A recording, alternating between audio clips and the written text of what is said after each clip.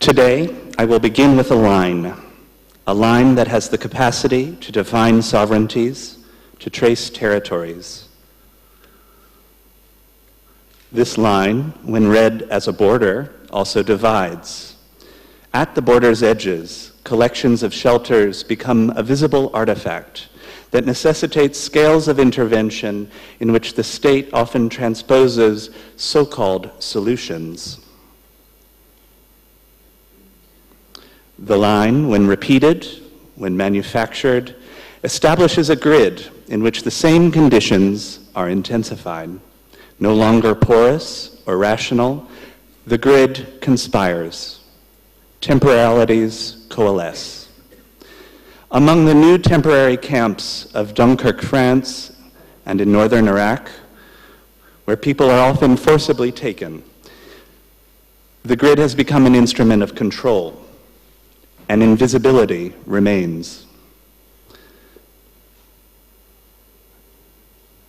Recent UN estimates posit that over 65 million individuals today are refugees or, or internally displaced throughout the world. We have been witness to the crossing of borders in which the perils of multiple landscapes mask what happens next. For some, indefinite detention on offshore islands, for others, disappearance, and more often, entrance into provisional structures and possibly camps that are either self made or NGO sponsored into carceral grids that belie histories and radicalize inequality. The making of provisional shelter at these margins, like the boat, is considered fragile and indeterminate. These questions affect the need to radically interrogate the systems that produce the camp in the city and the city in the camp can architects and designers offer an ethics of space? More critically, how does the use of the grid manifest a series of internal and external borders that exacts the same divisions which contributed to the disasters, both political, social, and environmental, from which thousands still attempt to escape today? This year, 2016 marks 25 years of the largest refugee camp in the world, Dadaab in northern Kenya, with a growing population of 300,000, in which the average length of stay for an individual is now 17 years. While the state disavows its existence, having erased it from Google Earth for a time, Dadaab, like so many others, is a pro proto city perhaps the most accessible, at least visually. Al Zatari uh, in Jordan, with its 12 primary districts, is also expanding into new subcamps, while internal market economies emerge to compete with the forced assembly of often conflicting cultures. What are the alternatives? I do not use or propose the word solution in this case. The paradigm that transgresses the grid even when abandoned, even when embedded in an abandoned luxury hotel on the periphery of cities or self-assembled in the desert over 40 years, assumes that individuals participate in the making of the city, that urban settlement is not imposed from without. Even when enmeshed in a dense urban context, such as the multiple camps of Lebanon, in which over a million individuals reside, the borders between city and camp have been diminished. In their place, communication networks and infrastructure of potential transgress the urban forms and often the boundaries that were first used to disassemble identities. The refugee camp is a shadow city to turn away is to disavow ourselves as occupying analogous spaces. If we begin to define the camp as a city and the refugee not as fixed or other, moving beyond the binaries, we have the potential to deploy many, if not all, of the strategies around which the discussions of this conference center for better or worse.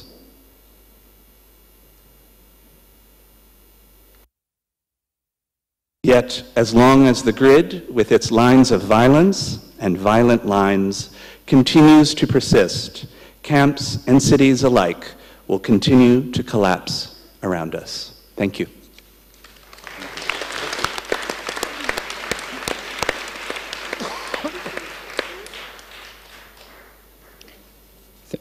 Thank you very much. And I should, of course, uh, refer to this not stimulation, but an important reminder of realities. Um, we should stick to this theme of refuge for five minutes. I think then we can open it up again to the much broader themes that have uh, emerged. And I'd like to really invite thoughts from anyone around the table. Um, Joe. Thank you, thank you, Sean, for a, wonderful presentation. Uh, the, the, thing that I was thinking of as you were talking about the grid um, is that one of the most infamous symbols of apartheid racist, ra racism was um, the grid of the township houses of Soweto. I mean, that went around the world and it became synonymous with the terrible, you know, racist uh, regime. But since, since 1994, when the country was liberated, people uh, were given uh, ownership of their properties, uh, um, businesses were allowed to be established in Soweto, and I believe recently Soweto scored its first million rand house sale. And it's a very nice place to live in today. Um, I'm not saying that it's uh, the best place to live in in Johannesburg. So the, the question really for me has to do with the idea that I don't really think it matters too much about that structure that you, put pla you place in the ground. It's rather the relationship that people have with it and the freedoms that they can exercise in terms of what they can do with that, that leads to good, healthy urban environments. Absolutely. Thank you. So, yeah. I completely agree. I think, however, that the images that we see today and the, the structuring of, of the camp, mm. uh, this dependence on the grid as both rational and as uh, defining the space uh, of what makes home uh, is quite problematic because within the camp, what we're seeing, I, I feel at least, and what I've seen uh, on the ground myself, is that those, those small scale interventions as you, as you with, the, the augmentation of value isn't allowed. Mm. It, it doesn't exist. And when it does, it becomes a, a again, a kind of bordering between within uh, the camps. Uh, and it, it perpetuates uh, uh these cycles of difference and, and uh, rather than change, and rather than uh, kind of a broadening of what it means to be human. Um, Sean, um, I, ha I, had a question on your presentation. Um, clearly this seems to be a process for the refugee that almost dehumanizes or perhaps robs them of um, the makings of domesticity, which would give a certain sense of security, identity, and all mm. of hmm. those things. Um, however, this is a transient phase, and I, I hate to sound, uh, you know, cruel about that, but nevertheless, um, we survive through a particular period hoping for something beyond that. Mm. Have you found in your investigations of these settlements a certain um, conception of home itself mm. evolving for the people who uh, live in these camps? Have you discovered that?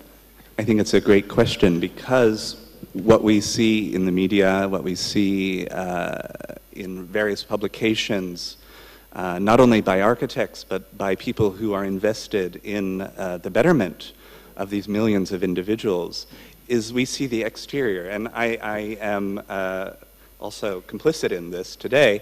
Uh, we don't really consider the interior lives uh, of individuals.